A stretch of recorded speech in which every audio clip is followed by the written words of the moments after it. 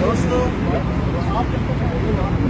मेरा नाम दिलीप महास्के है आज हम यहाँ न्यूयॉर्क सिटी में जो भारत सरकार ने S C S T act के लिए जो भी कदम उठाए हैं, वो बहुत ही निंदनीय है।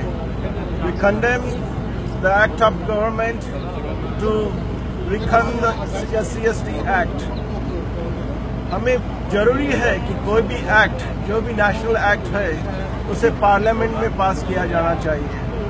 जिसमें बहुमति से अगर पास हो, नहीं होता है तो उसे चेंज किया नहीं जा सकता। लेकिन आज हमने देखा कि सुप्रीम कोर्ट ने जो भी फैसला दिया एस सी एक्ट को विकन करने का वो हमारी कम्युनिटी के हर एक सेक्ट को बहुत ही कमज़ोर और वलनरेबल बनाता है। हम इस एक्ट को पार्लियामेंट में वापस लाना चाहिए और कड़े से कड़े कदम उठाना चाहिए कि इसको ज़्यादा से ज़्यादा स्ट्रांग बनाना, बनाने की कोशिश होनी चाहिए।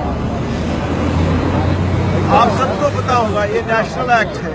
इस नेशनल एक्ट का मतलब होता है कि कोई भी विदाउट पार्लियामेंट इसको बदल नहीं सकता। अगर कोई बदलने की कोशिश भी करता है, इवन अगर सुप्रीम कोर्ट भी इसके खिलाफ जाता है तो वो गैर कानूनी हो सकता है। इसलिए हम भारतीय प्राइम मिनिस्टर और सारी पार्लियामेंट को ये रिक्वेस्ट करते हैं यहाँ से कि जो भी S C X T act के अगेंस्ट कोई भी पहल उठाए, उसको बंद करना चाहिए। और समाज के हर एक तख्ते को एक सोशल जस्टिस मिलना चाहिए। उसी तरह, जिस तरह हमने अभी न्यूयॉर्क में देखा इंडियन मिशन ने जो भी हमारे खिलाफ अलग अलग एक्टिविटीज़ की है, सबसे पहले उन्होंने हमें मना कर दिया था कि यहाँ पर यूनाइटेड नेशन में बिल्कुल ही जयंती सेलिब्रेट नहीं होगी। उसके बाद हम लोग सब यूनाइटेड नेशन में जाके एक नई परमिशन लिया था। उसे भी उन्होंने कैंसिल किया। तो बहुत सारे ऐसे एक्ट हो रहे हैं दुनिया में, यहाँ पर, कि S C S T communities को ज़्यादा से ज़्यादा विकन करने की कोशिश की जा रही है। कुछ दिन पहले हमारे एक भाई को, जिस, जिसने खाली हॉर्स वजह किया था, उसका कत्ल किया गया।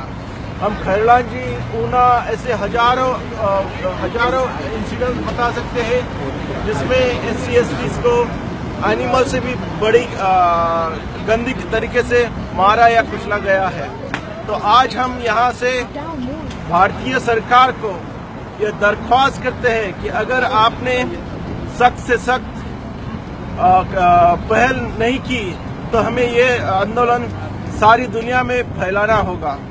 और अगर नेक्स्ट वन मंथ में भारतीय प्रधानमंत्री ने अगर कुछ स्टेटमेंट नहीं दिया तो हम इसको पूरे दुनिया में आ, सारी इंटरनेशनल बॉडी के सामने यूनाइटेड नेशन के सामने वर्ल्ड हेल्थ ऑर्गेनाइजेशन के सामने यूनाइटेड नेशन की ह्यूमन राइट्स के सामने इस मुद्दे को ज़रूर रख, रखेंगे।